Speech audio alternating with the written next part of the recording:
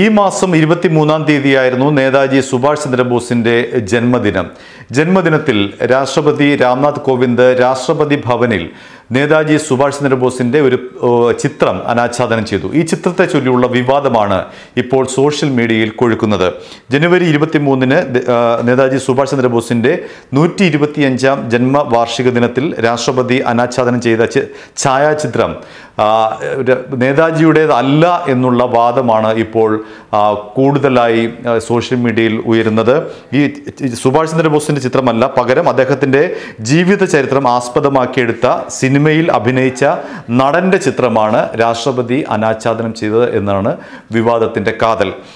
രണ്ടായിരത്തി പത്തൊൻപതിൽ പുറത്തിറങ്ങിയ സിനിമയിൽ പ്രൊസൻജിത്ത് ചാറ്റർജിയാണ് നേതാജിയായി അഭിനയിച്ചത്. രാഷ്ട്രപതി ഭവനിൽ രാഷ്ട്രപതി അനാച്ഛാദനം ചെയ്തത് ഇദ്ദേഹത്തിന്റെ ഈ നടന്റെ ചിത്രമാണെന്നാണ് ആരോപണം ശക്തമാകുന്നത്. Trinamool Congress M L A Mahua Moitra മാധ്യമപ്രവർത്തക Barkha Dutt തുടങ്ങി ഒട്ടേറെ പ്രമുഖർ സംഭവത്തിൽ ഇടപെട്ടു.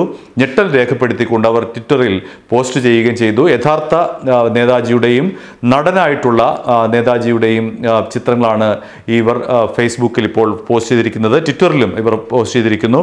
രാഷ്ട്രപതിയുടെ ഔദ്യോഗിക ട്വിറ്റർ അക്കൗണ്ടിൽ അനാച്ഛാദന ചടങ്ങിന്റെ ചിത്രം രാഷ്ട്രപതി ഇരുപത്തി മൂന്നിന് പങ്കുവച്ചിരുന്നു. അതാണ് പുലിവാലായിരിക്കുന്നത്.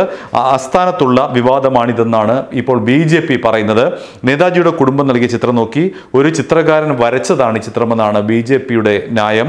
പ്രസഞ്ജിത്ജിയുമായി ഒരു സാമ്യവും ചിത്രത്തിനില്ല. തീർത്തും അനാവശ്യമായ വിവാദമാണെന്ന് ബി ജെ പി പ്രതികരിക്കുന്നു. അതേസമയം രാഷ്ട്രപതിയുടെ ഓഫീസ് ഇതുവരെ ഈ വിഷയത്തിൽ പ്രതികരിച്ചിട്ടില്ല. സംഭവം കത്തിപ്പടരുകയാണ്. വിവിധ മാധ്യമങ്ങളിലും വിവിധ കോണുകളിൽ നിന്നും ഇതുമായി ബന്ധപ്പെട്ട ആരോപണം ശക്തമാകുന്നു. നേതാജിയായി അഭിനയിച്ച നടന്റെ ഛായാചിത്രമാണ് രാഷ്ട്രപതി ഭവനിൽ അനാച്ഛാദനം ചെയ്തത്. അത് അങ്ങേയറ്റം തെറ്റാണ്. യഥാർത്ഥ നേതാജിയെയും നടനായി അഭിനയിച്ച നേതാജിയെയും തമ്മിൽ തിരിച്ചറിയാൻ രാഷ്ട്രപതിക്കോ അദ്ദേഹത്തിന് ഒപ്പമുള്ളവർക്കോ കഴിഞ്ഞിട്ടില്ല എന്നാണ് പ്രധാനമായും ഉയരുന്ന വിമർശനം.